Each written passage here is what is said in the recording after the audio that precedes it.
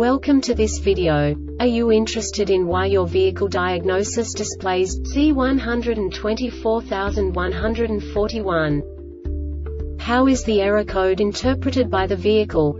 What does C124141 mean, or how to correct this fault? Today we will find answers to these questions together. Let's do this. First, let's look at the history of diagnostic fault code composition according to the OBD2 protocol, which is unified for all automakers since 2000. We divide the electric system of automobile into the four basic units. Powertrain, body, chassis, network. This distribution is defined in the first character code. If the second character is expressed as zero, it is a standardized error. In the case of numbers 1, 2, 3 it is a more prestigious expression of the car-specific error. The third character specifies a subset of errors. The distribution shown is valid only for the standardized DTC code. Only the last two characters define the specific fault of the group.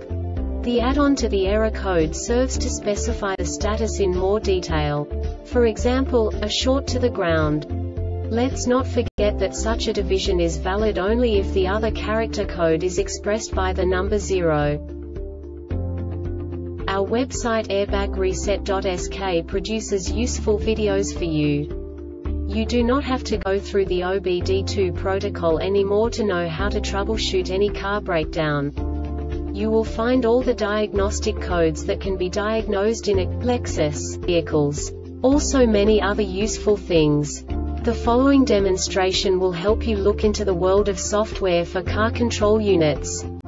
You unbelievably can move the video a bit further. The error code is split into two bytes consisting of 16 bits. One bit is the basic unit that each computer works with. The bit has two logical states.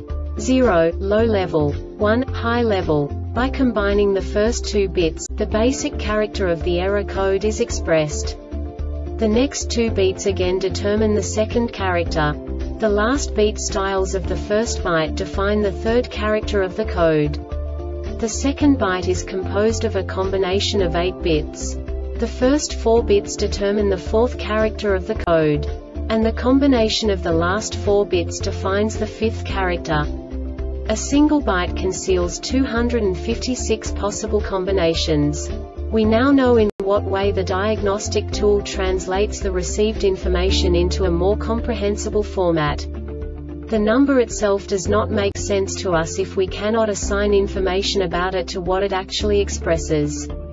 So, what does the diagnostic trouble code C124141 interpret specifically Lexus car manufacturers?